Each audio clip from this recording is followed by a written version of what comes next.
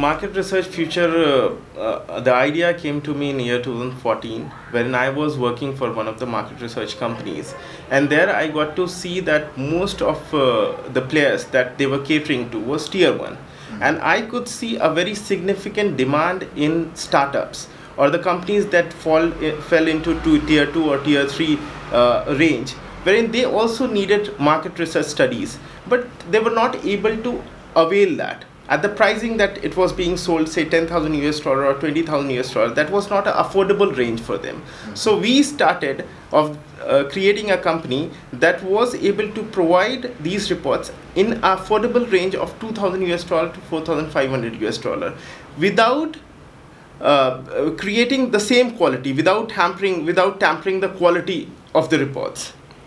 And that we named as syndicate so it, it was a report that was already made on an industry off-the-shelf report and anyone from the industry or who would be interested in those industries would be interested in buying it. Uh, I was earlier working into a recruitment firm. So I came into this because Vineet's motivation to start this firm was so strong that I could not say no. I'm like, okay, let's do it. Oh, okay. So from recruitment to research, it's a it's an amazing journey. It's it's a it's an amazing shift of career. Yes. Right. But it's a very but then both are somewhere interrelated in terms of like uh, yes. If you say it's people and here also you're talking about people. She was Correct. yes she was so very keen into sales. So therefore, uh, I believe that she complemented lot into the business. So syndication is not about uh, finding solution to any specific problem. Syndication is about the market. So for example, electronic vehicle. So there is a new market that is coming up that is EV. Mm. So market research future will build a report around it, understanding the demand of EV by year 2025, hmm. how the market would be shaping up and how the market would be eating up the share mm. that present automotive industry has and what would be the impact of it and how the players that are currently there in the market can cope up with these kind of changes. Mm-hmm. Once the report is built, it is a global report wherein we categorize the market into North America, then European regions, and then APAC and rest of the world.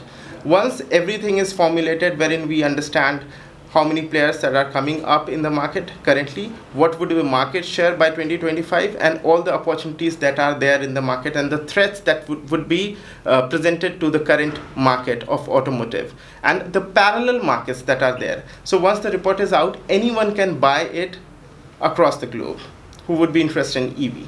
So even if the client is sitting in US asking for a study in Europe, it is it's not a problem because we you know we get in touch with the people who are in Europe for the data and you know data verification. Mm-hmm. So wherever the client is and whatever data he requires, if there is a way to connect to people and get the data verified, we can make that report.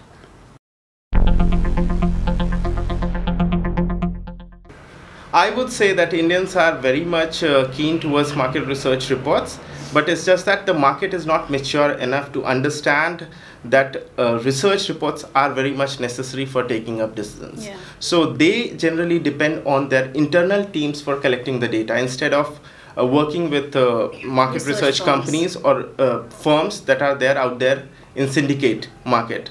Uh, and uh, the biggest uh, the things that I have seen in Indian market and the players is they always look for solution. They do not want to first study the market, find out the find out the questions that they should have in order to find the solution. So until unless you have a question, you cannot find a solution, right? So these syndicate reports, these help you to understand the uh, prepare the skeleton of uh, the study that you would be preparing on. You cannot do consulting until unless you understand the market. You have built the entire uh, question around which you need to find the solution.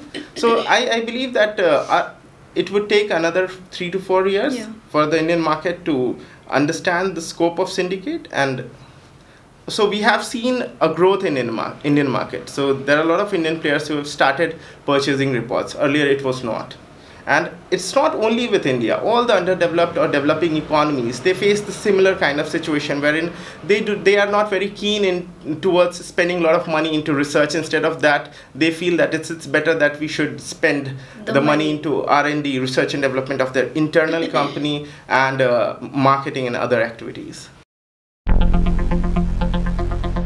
what we have started doing is we have started educating the students from the day they enter into college, they need these reports in order to understand how the market would be once they are out of the college, where they should go into.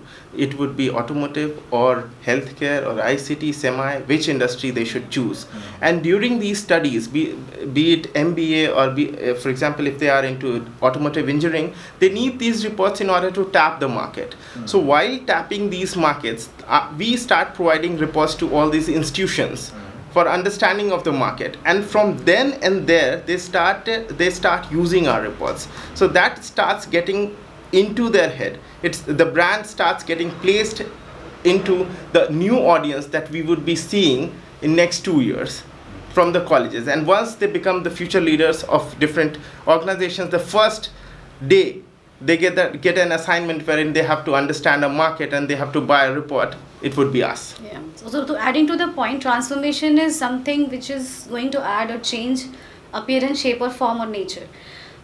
So the way we are trying to transform the market is we are trying to make market research reports very easy to consume. It's very hectic to read a two, 200 page market research report. Yes. we are trying to do something which is uh, being done in a very different way but not in a way which we are trying to do it.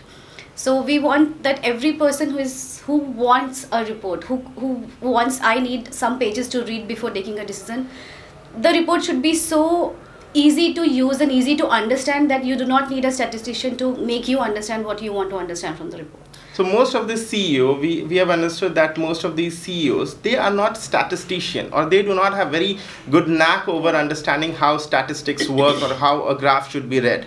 So we have started creating a SaaS model, which we call Lightbulb, wherein we have started in uh, placing all the reports, all the data into it, which is very user friendly for them wherein if they want to understand the forecasting of a market, they just have to write and it would be in front of them with all the explanations. So we have a term when we discuss this is democratizing the data or democratizing the market research report. So everybody, whoever requires it, can buy and use it.